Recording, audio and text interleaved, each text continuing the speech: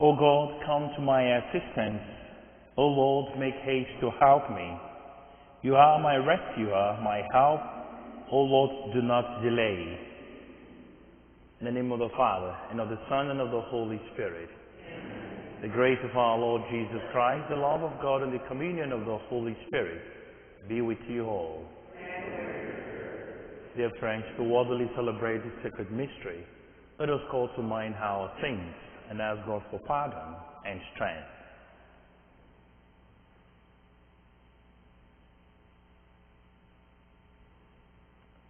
I confess to Almighty God and to you, my brothers and sisters, that I have greatly sinned in my thoughts and in my words, in what I have done and what I have failed to do, to my fault, through my fault, to my most grievous fault.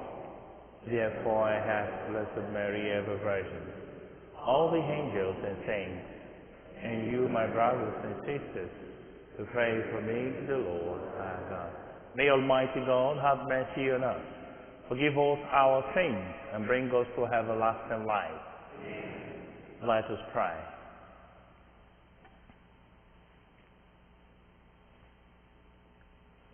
Draw near to your servants, O Lord, and answer their prayers with unceasing kindness, that for those who glory in you as their creator and guide, you may restore what you have created and keep safe what you have restored. Through our Lord Jesus Christ, your Son, who lives and reigns with you in the unity of the Holy Spirit, God forever and ever.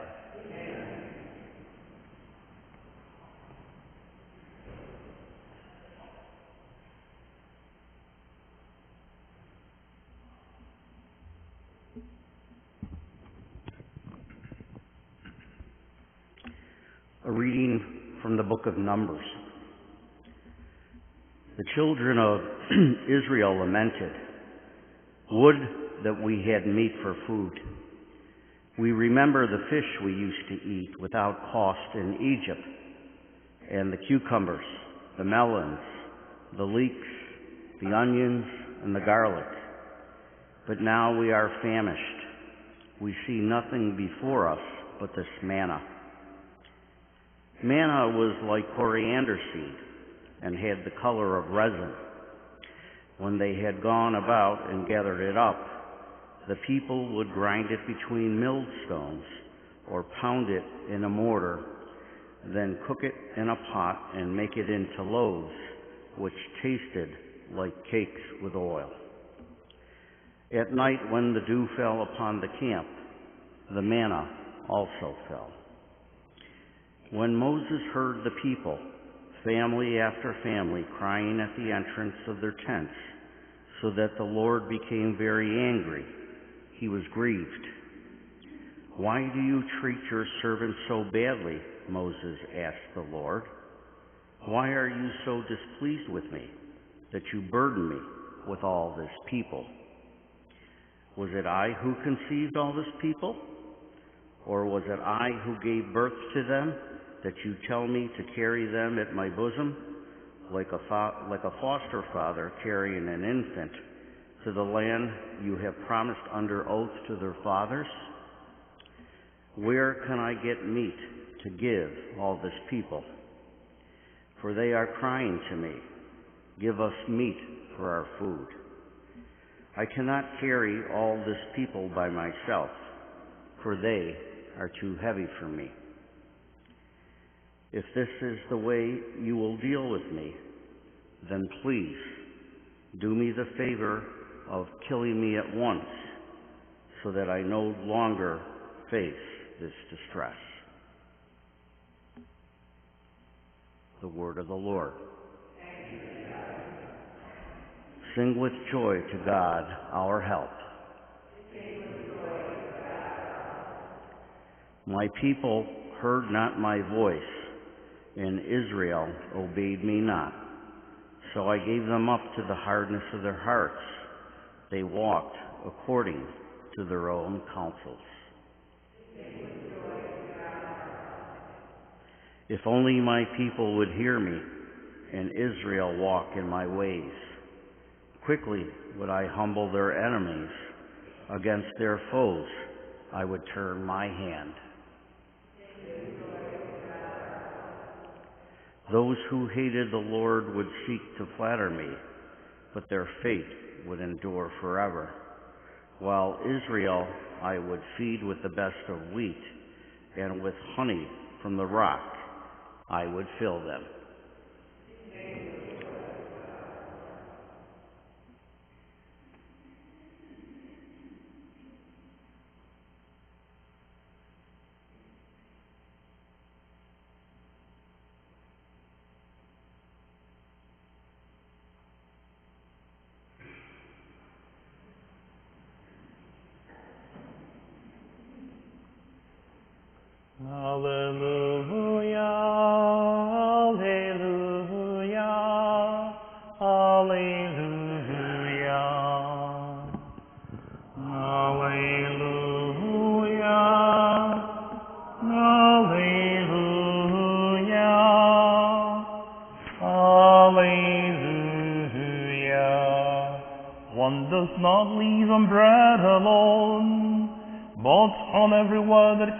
forth from the mouth of God.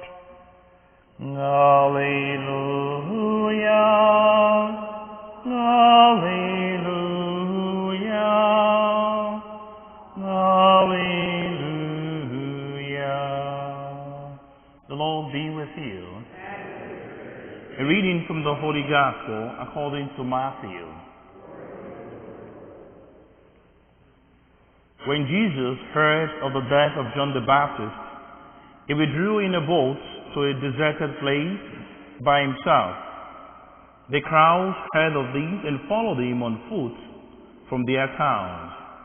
When he disembarked and saw the vast crowd, his heart was moved with pity for them, and he cured their sick. When it was evening, the disciples approached him and said, this is a deserted place, and it is already late. Dismiss the crowds so that they can go to the villages and buy food for themselves. He said to them, There is no need for them to go away. Give them some food yourselves. But they said to him, Five loaves and two fish are all we have here. Then he said, Bring them here to me and he ordered the crowd to sit down on the grass. Taking the five loaves and two fish, and looking up to heaven, he said the blessing, broke the loaves and gave them to the disciples, who in turn gave them to the crowds. They all ate and were satisfied, and they picked up the fragments left over, twelve wicker baskets full. Those who ate were about 5,000 men, not counting women and children. The Gospel of the Lord.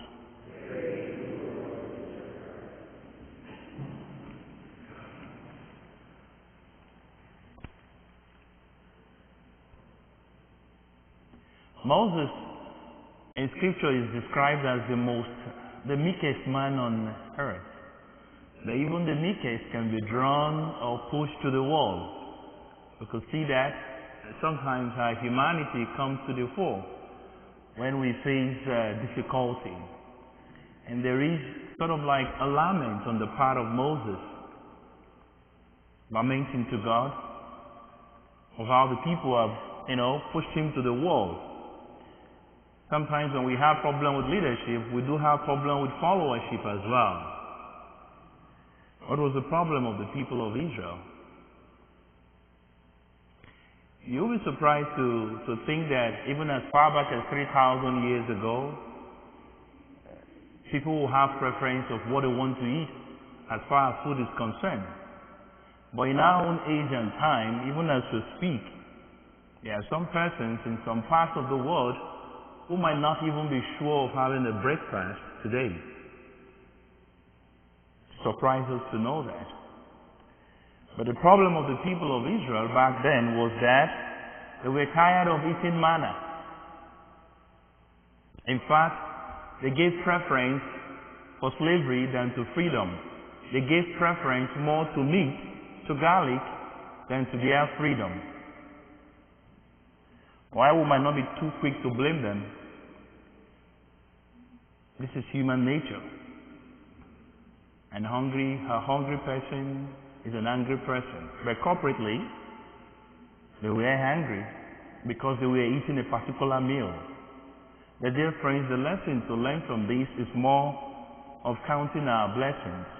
Whatever it is we see that God gives to us, to always be thankful. To always be thankful.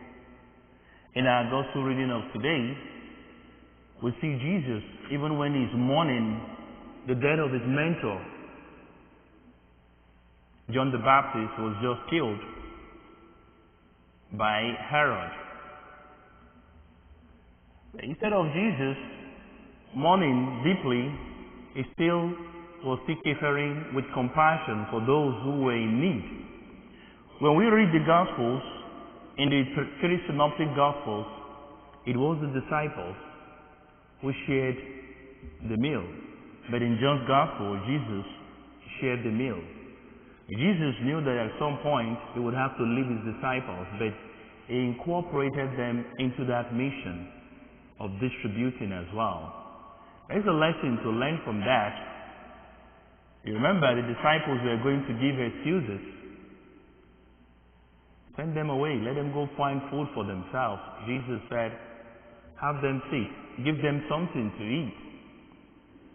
It shows that out of scarcity, God can make abundance out of that. Out of that. And you and I are invited also to become agents of generosity, to have time to give to the poor.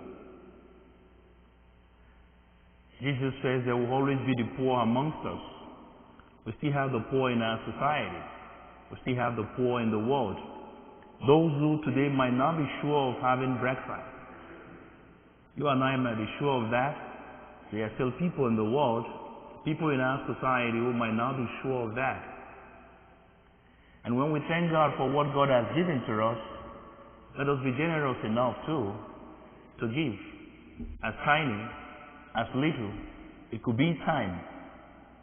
It could be our talent. It could be our treasure. But Jesus invites us to also become an agent of generosity. Let us rise.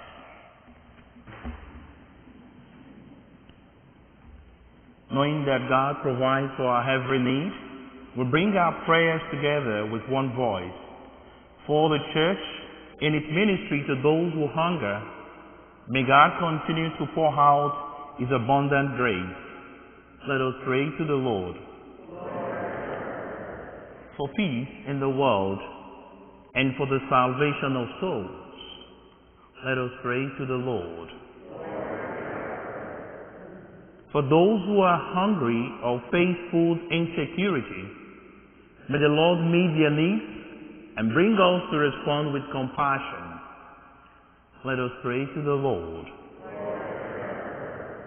For all of us gathered here, may God help us encourage one another in faith through our prayers and presence. Let us pray to the Lord. For Patricia, Patricia Zentai, for whom this Mass is being offered, we pray to the Lord. For all who have died, may God's light lead them to his everlasting kingdom. Let us pray to the Lord. In silence, let us have our own personal intentions.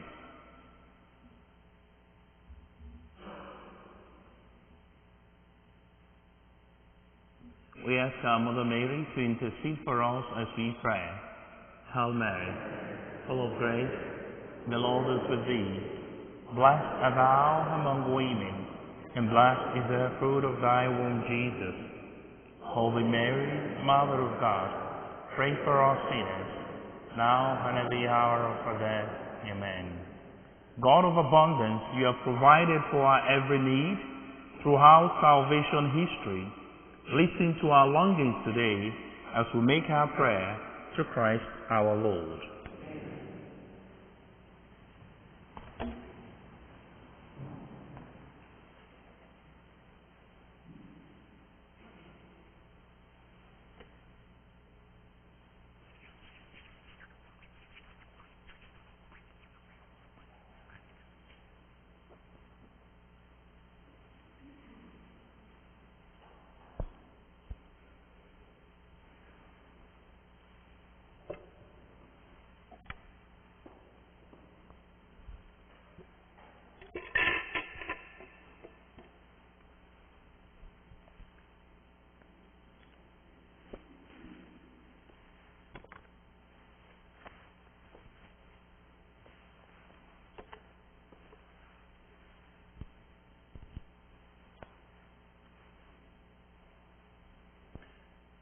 Blessed are you, Lord God of all creation, for through your goodness we have received the bread we offer you, fruit of the earth, and work of human hands.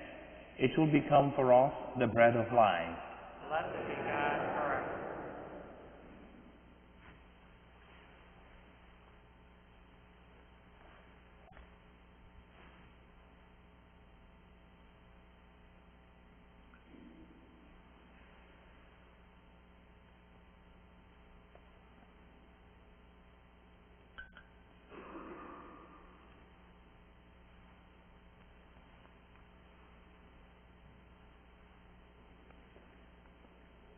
Blessed are you, Lord God of all creation, for through your goodness we have received the wine we offer you, fruit of the vine, and work of human hands.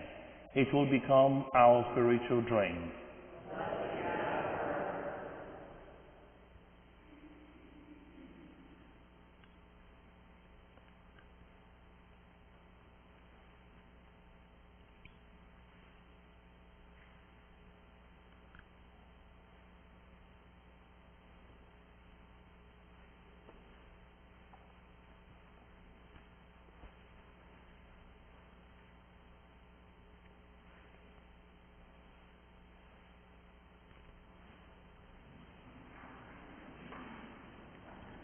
Pray, sisters and brothers, that my sacrifice and yours may be acceptable to God, the Almighty Father.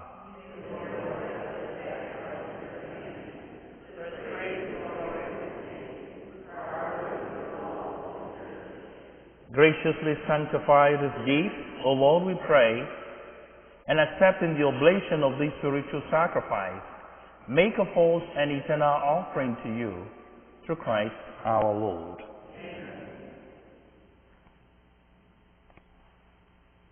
The Lord be with you. Lift up your heart. Let us give thanks to the Lord our God.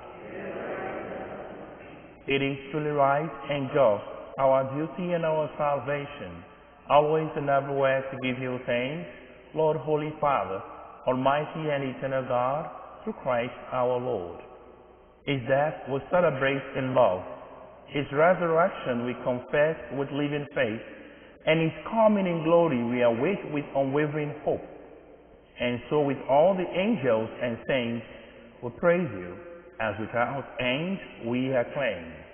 Holy, holy, holy Lord, God of hosts.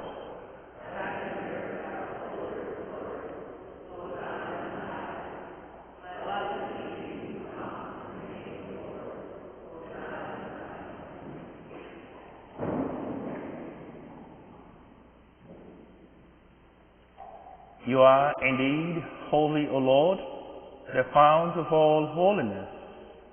Make holy, therefore, those gifts, we pray, by sending down your Spirit upon them like the dewfall, so that they may become for us the body and blood of our Lord Jesus Christ. At the time he was betrayed and entered willingly into his passion, he took bread and giving thanks, broke it, and gave it to his disciples, saying, Take this, all of you, and eat of it, for this is my body, which will be given up for you.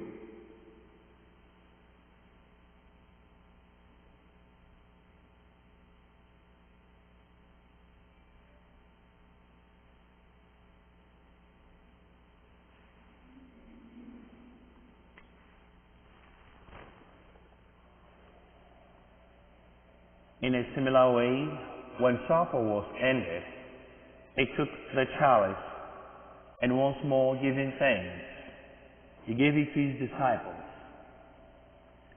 saying, Take this, all of you, and drink from it, for this is the chalice of my blood, the blood of the new and eternal covenant, which will be poured out for you and for many, for the forgiveness of sins.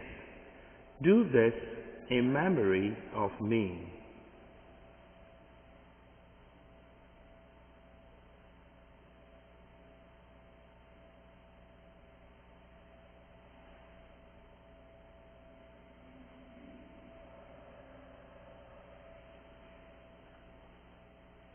the mystery of faith when we eat this bread and drink this cup.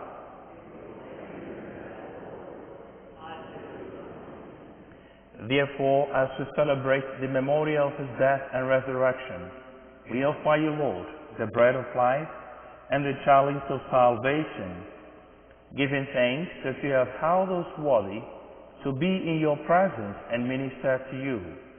Humbly we pray that partaking of the body and blood of Christ, we may be gathered into one by the Holy Spirit. Remember, Lord, your church spread throughout the world and bring her to the fullness of charity, together with Francis our Pope and Michael our Bishop and all the clergy. Remember also our brothers and sisters who are falling asleep in the hope of the resurrection, and all who have died in your mercy. Welcome them into the light of your face. Have mercy on us all, we pray, that with the blessed Virgin Mary, Mother of God, with blessed Joseph, her spouse, with the blessed apostles, with St. Gregory the Great, and all the saints who have pleased you throughout the ages, we may merit to be co-heirs to eternal life, and may praise and glorify you through your Son, Jesus Christ. through him and with him and in him, O God, Almighty Father, in the unity of the Holy Spirit, all glory and honor is yours forever and ever. Amen.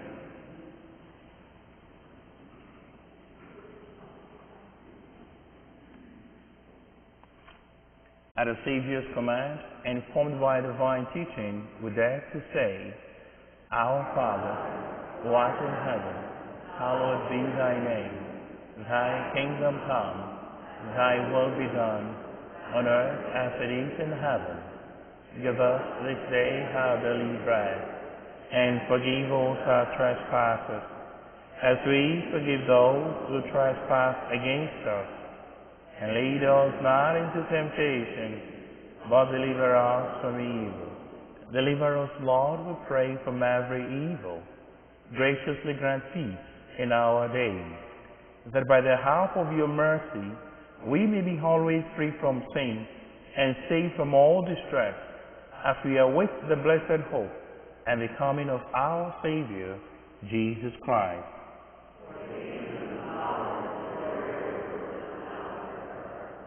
Lord Jesus Christ, who said to your apostles, Peace I leave you, my peace I give you.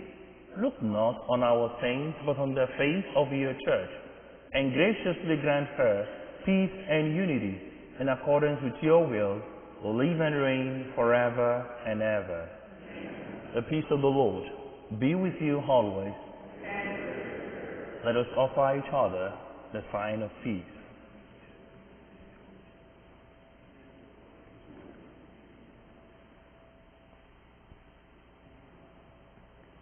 I'll say, great holy spectacle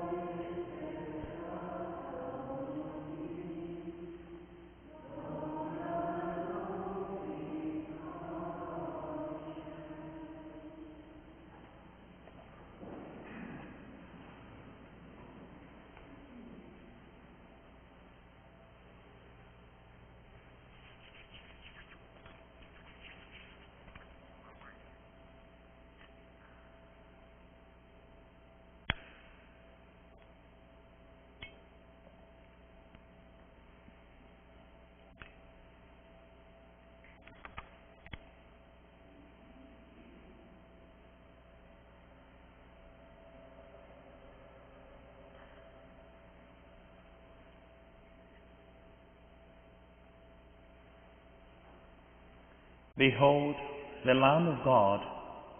Behold him who takes away the sins of the world. Blessed are those called to the supper of the Lamb.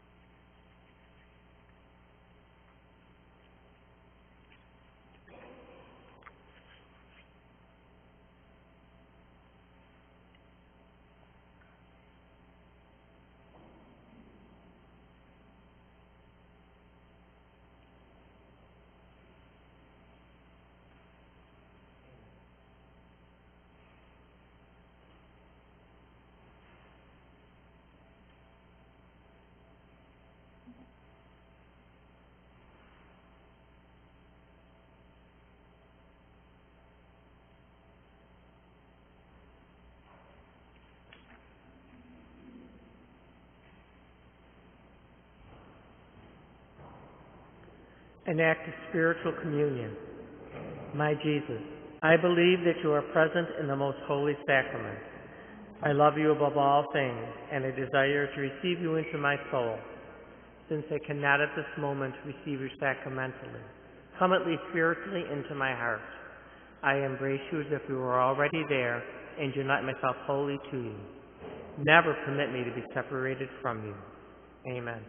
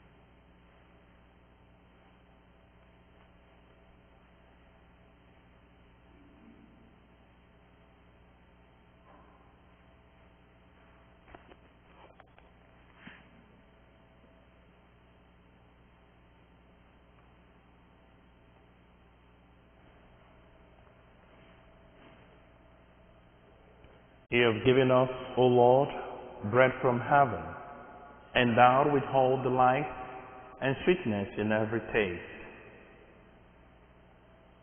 Let us pray.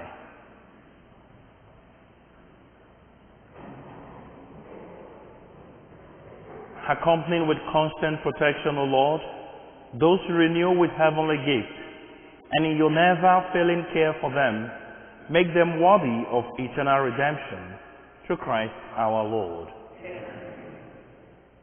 The Lord be with you. May Almighty God bless you, the Father, and the Son, and the Holy Spirit. Go in peace, the Mass is ended. May you have a blessed day.